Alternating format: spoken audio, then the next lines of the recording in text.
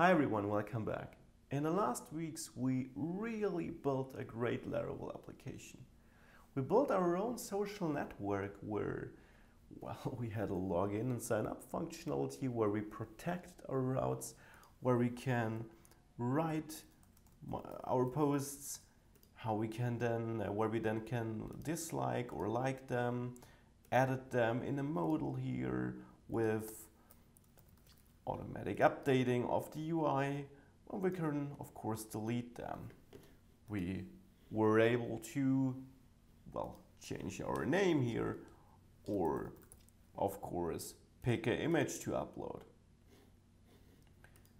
So we really did a lot of things and you learned a lot of things that make up basically every or a lot of Laravel applications.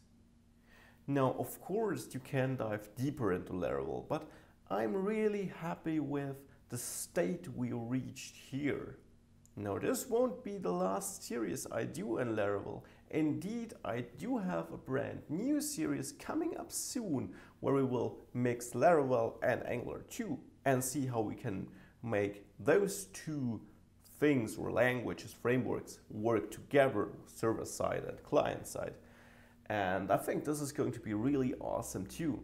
I also will have pure Laravel series and content coming up in the future. And of course, if you are interested into, well, in diving deeper into Laravel, you might just check out my Udemy course on Laravel I have, where I will explain other concepts like events, for example. So I really hope you enjoyed the course.